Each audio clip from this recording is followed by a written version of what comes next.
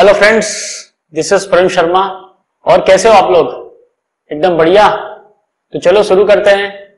इस question series को start करने से पहले मैं आपको ये बता देता हूँ कि आप सबसे पहले तो आ, मेरी इस वीडियो को देख लीजिए। यहाँ इसका लिंक मैंने यहाँ पे आई बटन में दिया हुआ है। इस वीडियो में मैंने क्या किया है कि जो बी का जो मैकेनिकल का इंटरव्यू होता है उसका एक जनरलाइज इंफॉर्मेशन शेयर किया हुआ है। तो आप सबसे पहले उस वीडियो को देख लें ताकि आपको एक कंप्लीट आइडिया मिल जाए। और एक बार आपने उस वीडियो को देख लिया तो उसके बाद इस वीडियो को कंटिन्यू रख सकते हैं। और अगर आपने ऑलरेडी देख लिया है पहले तो आप इसे कंटिन्यू रखें। तो चलो, शुरू करते हैं।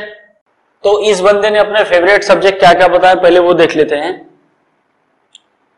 सबसे पहला तो बेसिक थर्मोडायनामिक्स फिर fluid mechanics then strength of material फिर heat transfer the last one is mechanical vibration.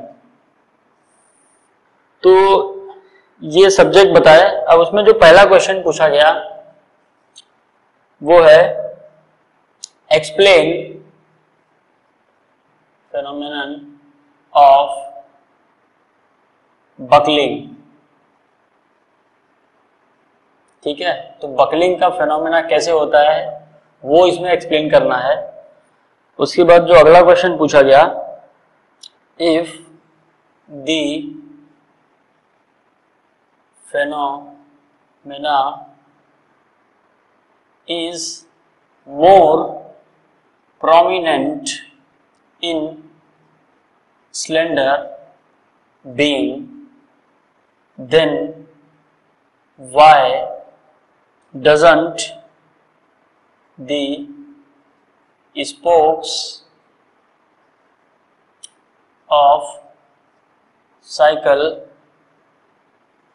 wheel buckles under the load इसके बाद जो अगला क्वेश्चन पूछा गया expression for the slenderness ratio तो सिलेंडरनेस रेशो के लिए एक्सप्रेशन क्या है, वो इसमें पूछा गया। फिर उसके बाद जो नेक्स्ट क्वेश्चन है draw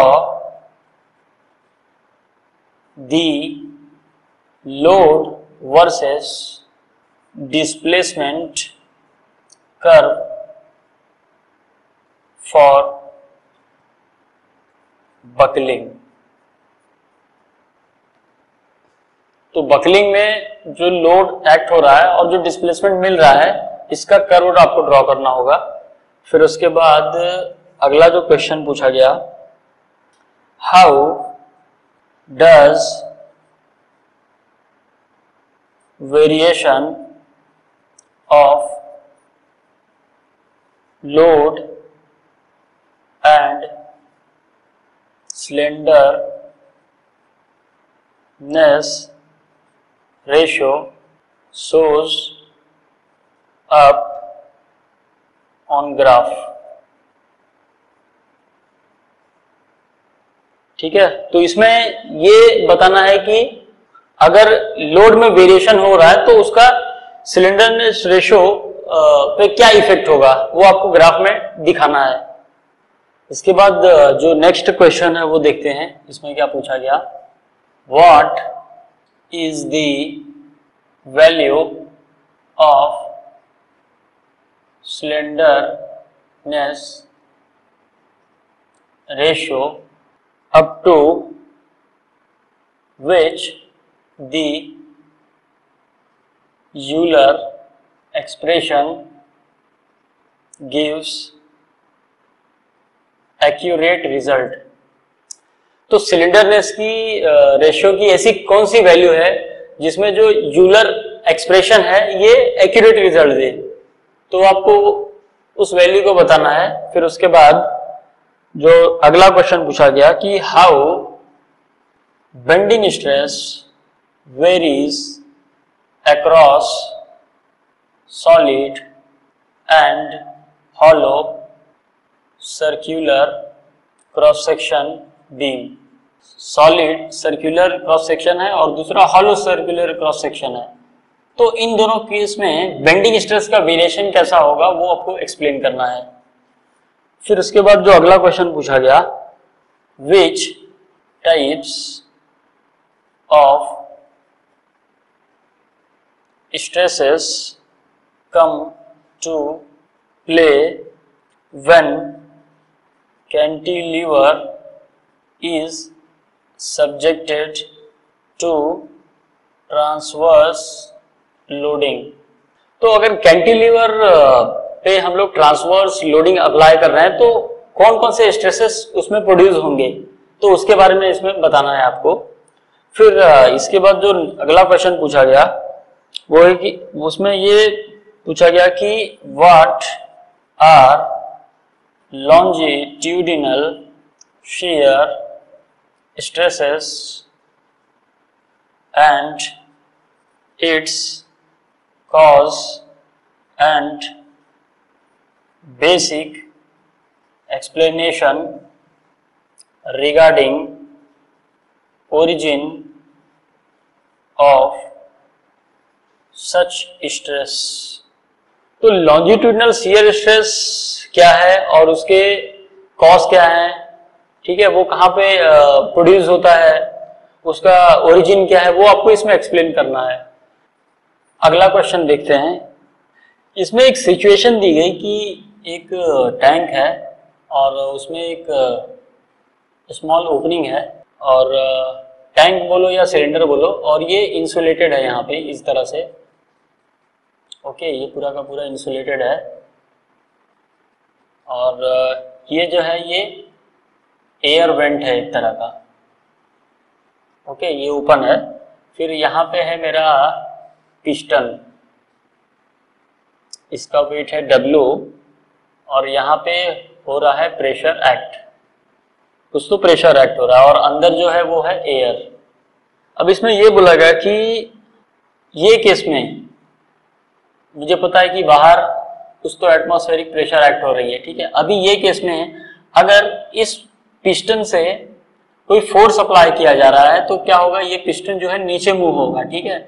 तो नीचे मूव हो रहा तो इसमें क्या होगा? इसमें इसकी स्टेट जो है वो एक स्टेट से दूसरे स्टेट में चेंज होगी।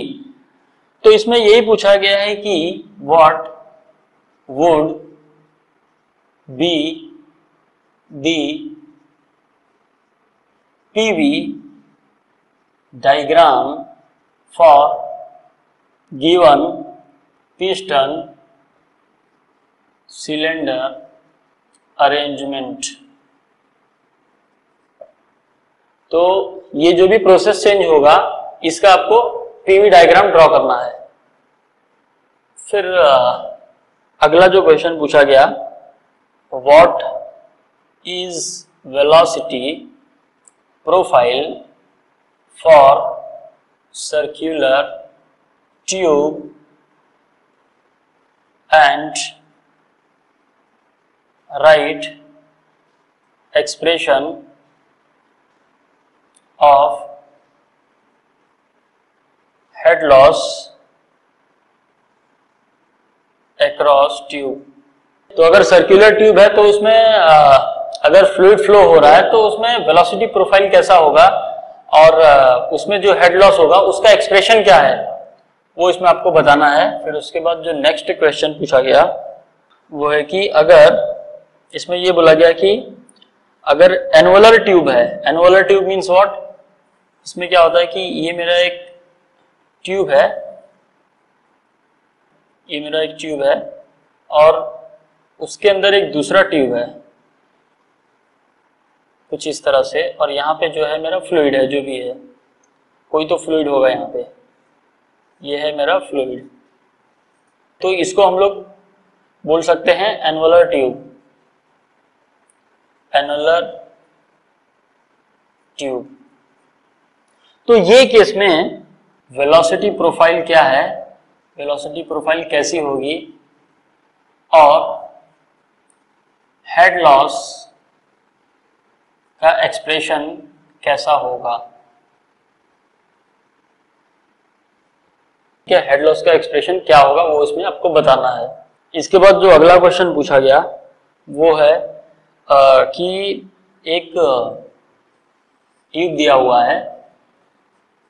एक ट्यूब है जिसका क्रॉस सेक्शन कुछ इस तरह से है। और अगर मैं इसको अलॉन्ग लेंथ देखूँ तो कुछ इस तरह से मुझे दिखाई देगा।